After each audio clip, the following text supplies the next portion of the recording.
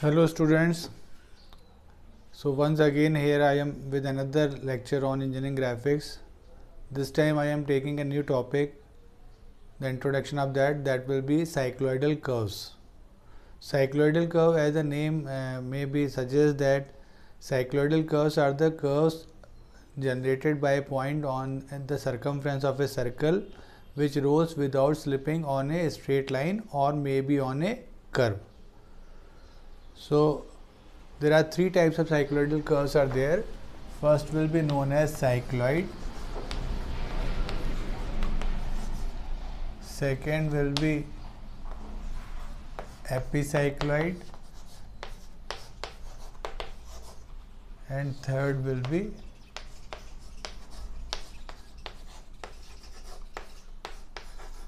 hypocycloid.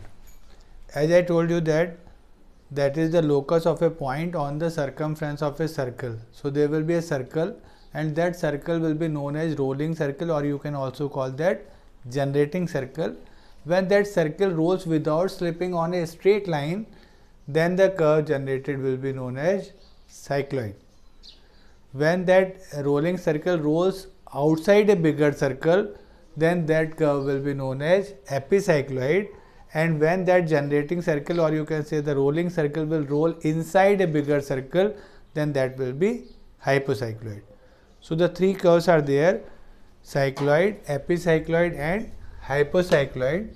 So if I want to if I want to discuss about the cycloid then as I told you that cycloid will be the locus of a point on the circumference of a circle which rolls without slipping on a straight line. This without slipping word will be important. The circle is not going to slip.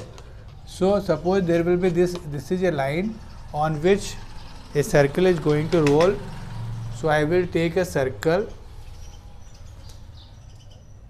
at the starting point of this straight line like this now the suppose this circle starts rolling on this line and this is the suppose the point that will be right at the moment in the contact with the this line. Suppose this point will be P and this will be the center C of the circle. Now this circle starts rolling in the clockwise direction. So as the circle rolls without slipping on this line this circle will be known as generating circle or you can also call that rolling circle and the line on which it is rolling this is known as directing line. So now when circle starts rolling on this line this point P will move upwards and suppose if the radius of this circle will be small r then after 2 pi r movement the point P will again come down on the straight line and that will be on this line. Suppose this is the end point. So this is the end point P and in the mid position it will reach the maximum height. So if I draw the curve generated by this point this will go like this and comes again back down so this curve is known as cycloid. So very simple concept is there. This circle starts rolling without slipping on a straight line and the point P will move upside. After half movement, this total movement will be 2 pi r. So after 2 pi r movement, the point P will be again on the directing line and at the half movement it will go the maximum height. So, this curve will be known as cycloid.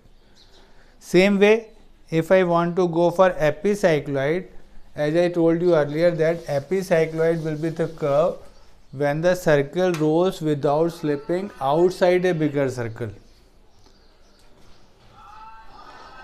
Outside a bigger circle, so there will be a there will be a circle and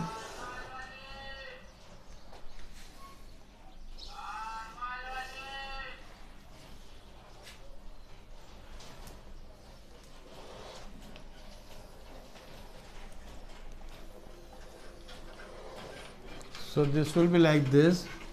This is the rolling circle. Again this is the center C of the rolling circle. And this radius will be small r and this is our directing circle and its radius will be suppose capital R. So this circle is known as directing circle and this circle is known as rolling circle. So now the circle again starts rolling in the clockwise direction on this bigger circle and this P point will move upside and it will go like this and again come back on the bigger circle. And that is the final position of the point P. And this curve is known as epicycloid. Same way, if suppose uh, there will be a circle which uh, rolls inside a bigger circle, suppose I will take another circle inside this one like this and suppose this circle starts rolling in the anti-clockwise direction like this. Now the movement will be anti-clockwise so the point P will again moves like this and this movement will be again equals to 2 pi r. But this time we have to mark a 2 pi on or on this arc so that for that formula will be that is small r upon capital R into 2 pi that is r upon r into 360 degree. So, uh, with help of this theta you can easily find out the as you know, that theta will be equals to arc upon radius and this arc will be 2 pi r and this radius will be capital R. So, with the help of this formula you can easily find out this theta value. Now, if the point moves inside then it will go like this the curve will be go like this and this will be our hypocycloid. So these are the three uh, cycloidal curves which we are going to draw in the next lectures uh, by step by step I will solve these problems when the parameters will be given to me. So for cycloid the requirement will be only the radius of the circle as we know that the circle will roll on a straight line in the case of epi and hypo, we require the radius of the rolling circle as well as, as well as the radius of the directing circle and with the help of those two we can easily draw a epicycloid or a hypocycloid. So, I hope just basic concept you understand.